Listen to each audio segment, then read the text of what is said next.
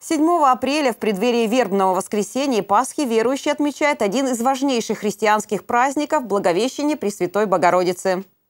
Согласно преданию, праздник Благовещения посвящен дню, когда Деве Марии явился архангел Гавриил. Он возвестил о том, что вскоре ей предстоит стать матерью Сына Божия, Спасителя всего мира. В Богоявленском соборе Наринмара в этот день прошла праздничная служба. Прихожан было немного. Это связано с ограничительными мероприятиями в связи с пандемией коронавируса. Я хочу прежде всего поздравить соотечественников, северян с праздником Благовещения. Это действительно праздник весны.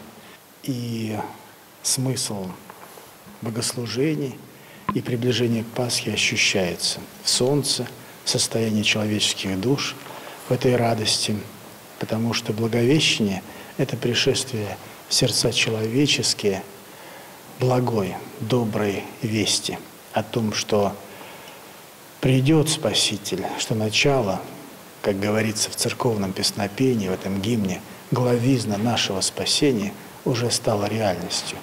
С Божьей помощью мы сегодня отслужили в нашем храме, потому что мудрое слово нашего архипастрия и первого святителя, патриарха Московского и вся Руси, призвавшего, и мы разместили на своем сайте, я зачитывал своим прихожанам в предшествующий воскресный день это обращение, призывает к всем к благомыслию.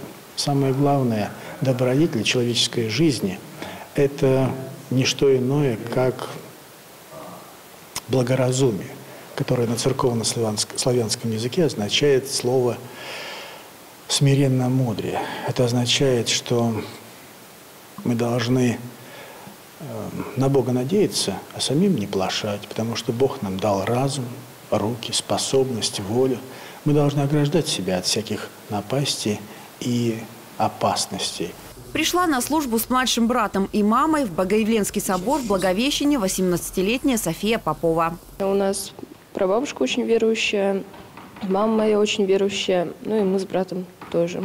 Я в детстве посещала воскресную школу, вот, прочитала детскую Библию, ну и Матвей сейчас тоже приучаем к этому. Жителям я пожелаю а, больше добра, наверное, в сердце, потому что сейчас такое время, что без этого никуда и терпение, и, наверное, все равно молиться и в своем сердце иметь вот, вот эту вот доброту и эту веру. Любовь Прямякова, Ольга Малыгина, телеканал «Север».